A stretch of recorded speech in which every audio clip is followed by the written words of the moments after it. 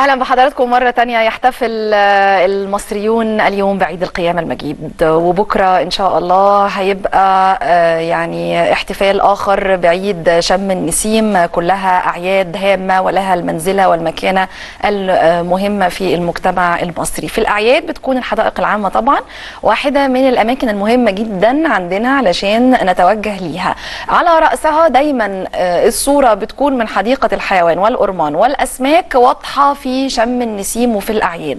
ومحور نقاشنا دلوقتي آه، أكيد عن الاستعداد والترتيب من أيام طبعا سابقة لاستقبال الأعياد. آه، برحب بضيوفي وضيوف آه، حضراتكم في الاستوديو. الدكتور محمد رجائي رئيس الإدارة المركزية لحدائق الحيوان. أهلا بحضرتك يا دكتور. أهلا بحضرتك. وبرحب بالدكتور سيد حسين مدير حديقة الأرمان أهلا بحضرتك يا دكتور. كل سنة وحضراتكم طيبين. عيد القيامة. المجيد النهارده وبكرة شم النسيم إن شاء الله. مصر في اعياد وفي أيام جميلة. بس لازم طبعا نعرف الأخبار إيه. يعني الحدائق رقم واحد آه، كمقصد للمواطن المصري. هبدأ مع حضرتك. استعدتوا إزاي؟ آه اسمحي يعني آه أنتهز فرصة وجودي مع حضرتك وأقول آه للإخوة المسيحيين كل سنة وحضراتكم طيبين. بمناسبة عيد القيامه المجيد وأيضا كل شعب مصر كل سنة وأنتم طيبين بمناسبة اعياد شم النسيم. الحقيقة إحنا يعني استعدادنا كان في ثلاث محاور رئيسية يعني. المحور الأول هو خدمات الجمهور وما يخص الجمهور براحته ومتعته. آه، يعني إحنا آه، قطعنا شوط كبير جدا في الاهتمام بالمساحات الخضراء وتهذيب الأشجار. آه، الحقيقة آه، صيانة لكل أعمال دورات المياه. وعملنا يعني منظومة نظافة على أعلى مستوى بيشهد بها كل الزائرين على فكرة.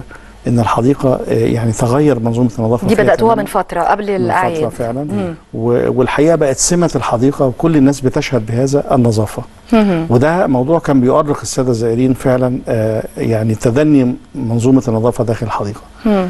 آه، أيضا عملنا منطقة ترفيهية داخل الحديقة بألعاب كهربائية جميلة بتسبب متعه للناس عملنا خدمة تنقل داخل الحديقة برضو بالطفطف مم.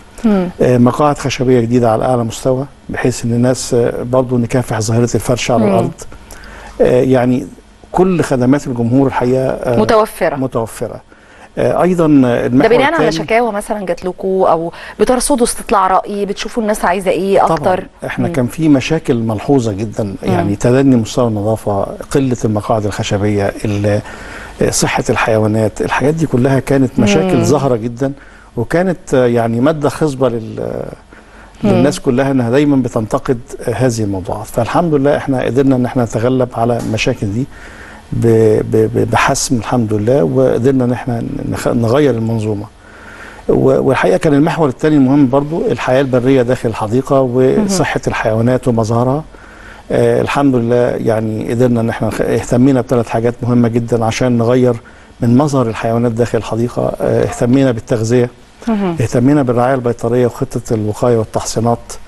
آه، اهتمينا بالإسراء البيئي وده موضوع مهم جدا إن الحيوان يبقى عايش في بيئة مماثلة للطبيعة لل- بتاعته آه اللي وصل منها بالظبط يا. فندم فده أدى إلى يعني آه، آه، يعني تزاوج انتعاشها. مرة تانية بالظبط. الحديقة بشكل عام وحصل خطة اكسار حقيقية للحيوانات والناس هتشوف الولادات إن دي شاء الله إن شاء الله آه دكتور سيد إيه الأخبار بقى الحديقة اولا يعني بنقول للشعب المصري حديقة. الأسماك مثلا مم. حديقة الأرمان إحنا الأرمان صراحة بتشهد الأيام دي احتفالات ب بمعرض زهور الربيع والزائر المصري إن شاء الله يستمتع معانا بجودة الأزهار المعروضات النباتية برضو معروضات من منتجات وزارة الزراعة. فإن شاء الله الزائر هيستمتع بكل المعروضات اللي موجودة في المعرض لأن إحنا عندنا في المعرض السنة أكتر من 180 عارض فده عاملين أشكال وألوان مختلفة من أنواع الزهور والصبارات اللي موجودة في الحديقة. التنوع ده في. الأورمان مطلوب طبعا من سنة لسنة يكون جديد مختلف. تمام. طبعا دي, دي برضو ميزة للحديقة لأن الحديقة طبعا اسمها ارتبط باسم معرض زهور الربيع لأن طبعا آه. حوالي من 20 أشهر سنة. المعارض طبعا من أشهر المعارض اللي موجودة. اللي و- برضو بتجذب الناس. وبتجذب الناس. الحمد لله يعني إحنا عندنا إقبال آه، مقت... يعني مقطوع النظير صراحة في السنة في المعرض. آه، برضو إحنا على أساس نيسر للناس في ال... في الاحتفالات بعيد شم النسيم عاملين فاتحين الثلاث أبواب للحديقة. آه. باب النهضة و... مقابل تمثال النهضة باب جامعة القاهرة وباب الدقي طبعا الباب اللي هو الرئيسي باب البرنسات وطبعا فيه جزء في ال- يعني مط- يعني باقي من الحديقة ل- للمتنزه للجمهور للجلوس. وبرضه إحنا تكملة للدكتور محمد ان إحنا برضه عاملين مقاعد اللي هي مقاعد مزايكو موجودة في الحديقة ومقاعد رخام على أساس برضه نزود عدد المقاعد لنتغلب على ظاهرة الفرش على المسطحات بتعملوا إيه. مع الناس بقى لما تحب تيجي بقى علشان تحتفل؟ فبتجيب أكلها وبتجيب مشروباتها يعني سيطرتوا على الموقف إزاي؟ هو إحنا حضرتك إحنا ما عندناش مانع صراحة. إحنا بس بن- بنرجو من الزائر وب- إنه يلتزم. آه وبنديله بعض الشنط آه. لا شنط برضه إن هو حتى يلم المتبقيات آه، بتاعته. آه. وإن هو برضه يحطها في بعض يعني السلات اللي موجودة الالتزام بالنظافة آه. و...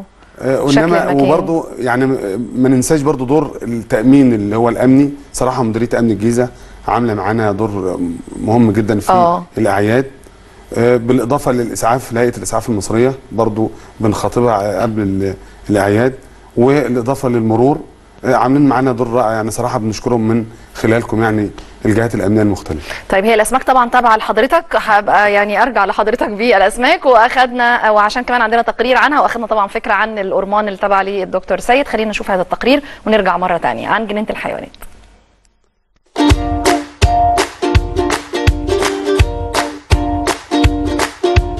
جوهرة التاج. هكذا لقبت حديقة الحيوان بمحافظة الجيزة عندما تم إنشاؤها عام 1891 لتصبح واحدة من أهم حدائق القارة الأفريقية والمنطقة ضامة بين أسوارها أكثر من ستة آلاف حيوان. حديقة الحيوان من أقدم الحدائق على مستوى العالم. آه، إحنا الحقيقة الدولة مهتمية بها اهتمام كبير. هي مش بس مكان ترفيهي لكن هو مكان تعليمي وخاصة للأطفال. مكان جميل والولاد بتتبسط قوي لما بتيجي هنا وبيتفرجوا يعني على حاجات جديدة والحيوانات اللي ما بنشوفهاش غير في التلفزيون. وجايبة بنتي مخصوص النهارده عشان تشوف الأسد لأن هي بتشوفه صور في الحضانة. آه، فقالت لي ان هي عايزة تشوفه حقيقي. وعلى مساحة 80 فدانا يتوجه سنويا ما يقرب من ثلاثة ملايين مواطن ما بين كبير وصغير من مختلف محافظات مصر. هما دايما بيبقوا مبسوطين وعايزين نروح الجنينة وكده لكن مش للصغيرين بس أنا أنا نفسي بحب أجي هنا عشان القرود والله. المكان رائع ومبدع. بالنسبة للخضرة للحيوانات اللي فيه مكان آه، مكان واسع وجميل. مكان ترفيه حضرتك وكل الناس بتحب تيجي في المكان ده. علشان على الحيوانات اللي فيه والوسع المكان اللي فيه. كله بيبقى مبسوط لأنه يقضي أي احتفال بالنسبة للمصريين بيجي هنا جنينة الحيوانات. أما بابا قال لنا إن أنا هجيبكم هنا حسيت بفرحة جميلة جدا لأن أول مرة أجيها. أكتر حاجة عجبتني القرد. الحديقه جميلة. صراحة ربنا أماكن جميلة وربنا يدوم علينا الصحة والسعادة وربنا ينصر مصر يا رب وشعب مصر.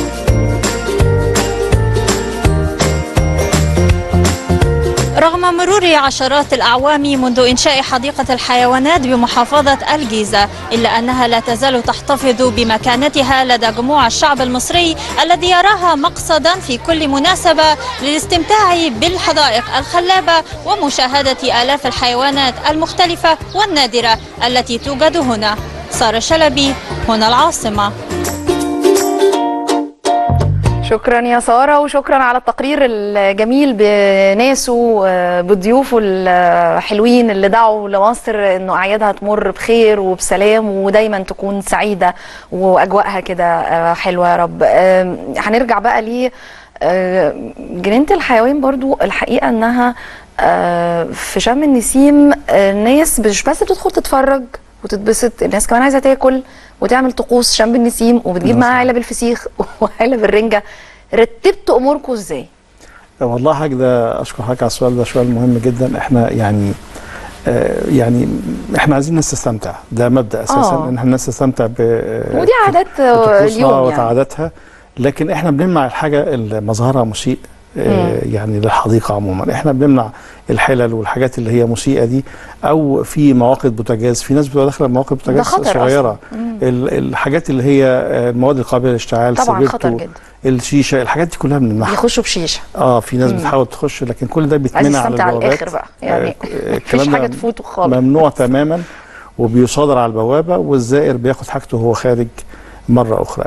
لكن إحنا بنسمح بال إذا كان في معلبات في سندوتشات إزاي وإحنا لا ده ممنوع ده دي دي تعليمات يعني وبتنفذ وفي شركة أمن بتفتش جميع الزائرين طب هم كويس إن. المواطن كمان ملتزم. بإرشادات وتعليمات المكان. طيب آه، دكتور سيد بتعملوا إيه في حديقة الأورمان؟ المساحة برضو واسعة يمكن أكتر هنا عشان الناس تدخل وتاكل.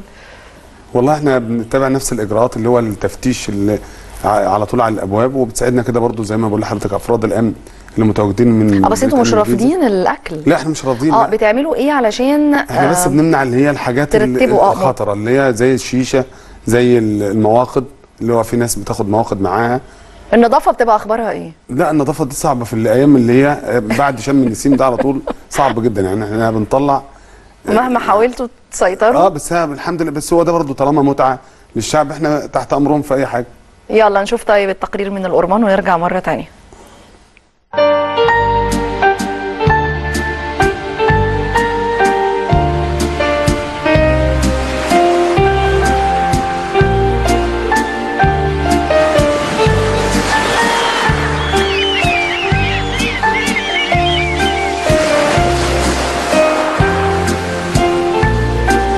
إحنا بنبتدي نستقبل الزوار من الساعة 8 آه الحديقة بتبقى بكامل قوتها؟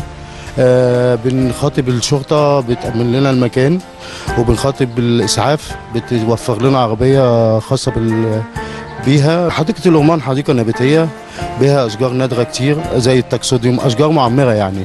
فالأشجار ديت آه، بنحافظ الزائرين بيحافظوا عليها لأنها أشجار آه، صعب التعامل معاها يعني والمسطحات الخضراء بيست- بيبقوا موجودين عشان المسطحات الخضراء بيفرشوا عليها ويقعدوا ويستمتعوا بجمال الطبيعة يعني.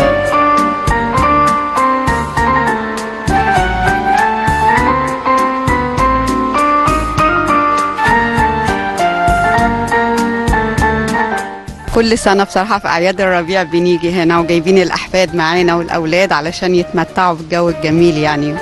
ويتعرفوا طبعا على الأنواع المختلفة من الزهور والنباتات. برضو بيستفيدوا من الحاجات دي يعني. كلنا ك ك من ضغط العمل بتاع طول الفترة أو طول السنة بتبقى محتاج تخرج في هواء طلق آه، محتاج تخرج ما بين خضرة ما بين ورد ما بين مية. فطبعا بالنسبة للناس اللي ما بتسافرش بره القاهرة طبعا آه، حديقة الأورمان فرصة بالنسبة لهم. الأورمان أصلا مشهورة بالزهور. يبقى أنا جاية جاية عشان إيه؟ عشان الزهور. وأقعد في جو جميل. كفاية إن أنا قاعدة في وسط بص حضرتك بص حواليك. حاجة جميلة مش موجودة بره أو مش موجودة في حتت كتير.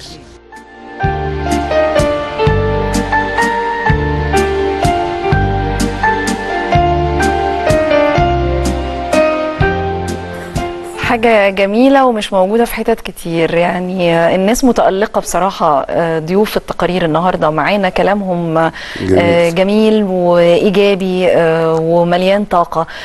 دي دعوة مقدمة من المواطنين إن الناس تنزل وتخرج وإن شاء الله تتبسط في يومها. والأعياد تمر بخير علينا جميعا. كل سنة وحضراتكم طيبين. بجدد التحية بقى بضيوفي وهرجع لجنينة الأسماك. إحنا اتكلمنا على جنينة الحيوانات. جنينة الأسماك يا فندم ليه دايما؟ يعني بسمع إنه فين جنينة الأسماك بتاعت زمان؟ من زمان جدا الجملة دي. حتى لو سمعنا إن في تطور أو في حاجة جديدة آه، الجملة دي مستمرة. آه. فإيه الأخبار؟ هو طبعا الحقيقة إحنا يعني حديقة الأسماك الجبلية نفسها الشهيرة. آه. فيها بعض المشاكل ال- يعني في أحواض بتسرب مية داخل جسم الجبلية. آه. فمحتاجة آه، دراسة كاملة لأن ممكن تأثر على الأثر نفسه. مم. فإحنا في أحواض دلوقتي شغلناها يعني اللي هي ما بتسربش مية والأحواض اللي هي فيها تسريب أو فيها مشكلة إحنا حاطينها فيها محنطات آه، مائية. أيوه. فلكن حاليا تقريبا الجبلايه إلى حد كبير شغالة الحمد لله وفيها أسماك. وأيضا تم تطوير إحنا عاملين مراحل كده عملنا برضه تطوير المفرخ. اللي هو بيمد ال- ال- الحديقة بالأسماك والحفاظ على بعض الأنواع النيلية. ده بدأ يشتغل ده اشتغل فعلا وتم تطوير المفرخ. وفي البحيرة دلوقتي إحنا في مرحلة تطوير البحيرة الوسطى اللي في الحديقة. وإن شاء الله ننتهي منها قريبا وتبقى يعني الحديقة جميلة جدا. طيب الحديقه على المستوى النباتي الحديقة لائقة وبتستقبل. اعداد كبيرة من الزائرين. طيب والنهاردة المفروض يبقى فيه برضو لمسات نهائية يعني علشان بكرة؟ آه طبعا. هو الحديقة جاهزة لاستقبال الناس من حيث مستوى النظافة ودورات المياه على أعلى مستوى هناك. آه يعني الأسماك موجودة. الناس هتشوف الأسماك فعلا موجودة داخل الجبلايه الجبلايه شغالة حاليا. وده برضو من فترة كبيرة ما كانش شغالة. حاليا الجبلايه جاهزة لاستقبال السادة الزائرين والحديقة من الناحية النباتية بقول لحضرتك آه، على أعلى كويس مستوى جدا. خلينا طيب نشوف جداً. الحديقة آه. من الناحية النباتية وكمان من ناحية التطورات الجديدة فيها آه في التقرير اللي جاي. أوكي.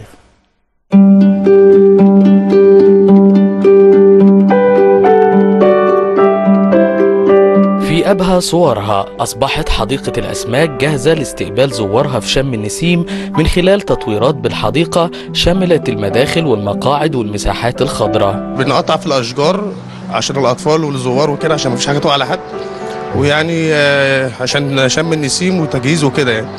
وبندعم في الأسماك وبنحاول برضو نزود في الأسماك برضو عشان الزوار. والإخوة المسيحيين يعني يبقوا مبسوطين وكده. وبنهتم بالشوارع برضو. في التنظيفات بتاعتها وكده. وإن شاء الله يعجب الجمهور بإذن الله وفي تدعيمات جديدة وإنشاءات جديدة بإذن الله تعجب الناس كلها بإذن الله. في معمل اسماك هنا برضو آه، بيحاولوا دلوقتي ينشئوا حاجات جديدة فيه. وإن شاء الله على التجهيزات بإذن الله على شم النسيم هيبقى كله تمام بإذن الله. وفي بحيرات جوه لسه بينشئوها هي. وإن شاء الله هتبقى من أحلى الحدائق بإذن الله إن شاء الله يعني. بتذكرة على قد الإيد وتمنها لا يتعدى الخمس جنيهات بيستمتع الزائر بجمال الحديقة اللي تجاوز عمرها 100 سنة. كتير حلوة وتاريخ كتير حلو. شرح لنا الأخ اللي جوا عن أيام إلها 150 سنة هاي ال- الأبنية. وبالتالي اللي جوا التحف والأسماك المحنطة كتير حلوة. يعني بتعطي انطباع جيد كتير عن المنطقة وعن الحديقة. عجبني فيها الهدوء التحنيط اللي جوه الأسماك المتحنطة الحاجات نوادر جوه أول مرة أشوفها التاريخ بتاعها. آه، مناظر بصراحة ما ما ينفعش الواحد ما يجيش لازم نجيها كل أسبوع كل شهر على الأقل. سحر خاص بتتمتع بيه حديقة الأسماك خصوصا في المناسبات والأعياد. هشام الرباط هنا العاصمة.